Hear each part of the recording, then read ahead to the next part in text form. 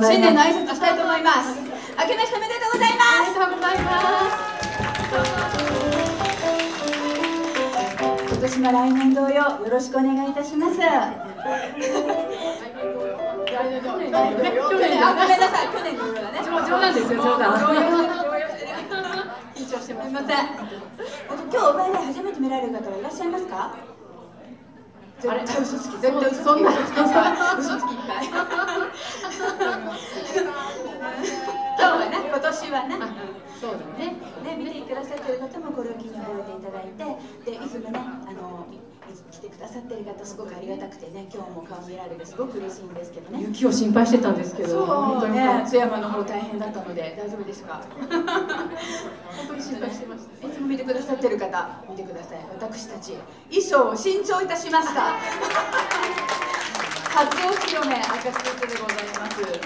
のこれがどう皆さんに映ってるのかちょっとわからないんですけども。なんかだんだんキャバ系になっていってるのかみたいな感覚になってきますがね。でもね巨人あ去年とね。もう酔っ払ってるね私。やばいね。ちょっと2本飲んでますからすいません。ね引き続きね。どうぞ去年同様ね今年も精進してまいりますので皆さんださったら嬉しいです、ね、ちょっと短いお時間ですがねもうね皆さん踊ってくださってますけどあのそちらにいらっしゃる方々もみんな出てきてくださって一緒に踊って歌ってくださったら嬉しいと思います、ね、次の曲いきますか？大丈夫ですか？大丈夫ですか？はい。じゃあ次の曲いきたいと思います。1つ目いきましょう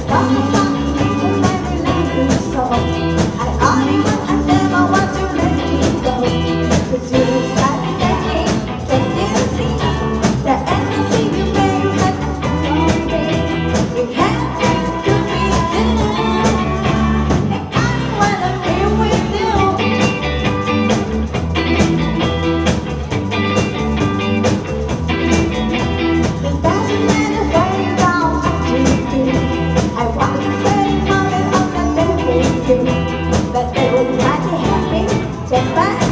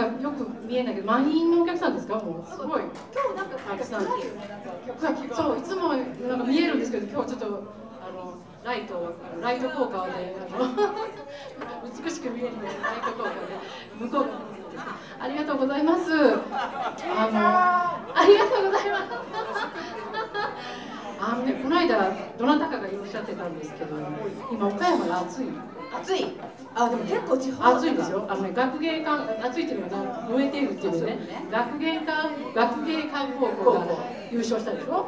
それからあの倉敷高校がこれ駅伝で、駅伝って言ったりか、優勝して。津山にはあのドルドルーリー選手、ドルーリー選手、あの人ご存知ないですかね？ごめんなさい。あの女子のね、あの駅伝。もう津山がね、今暑いんですよ実は。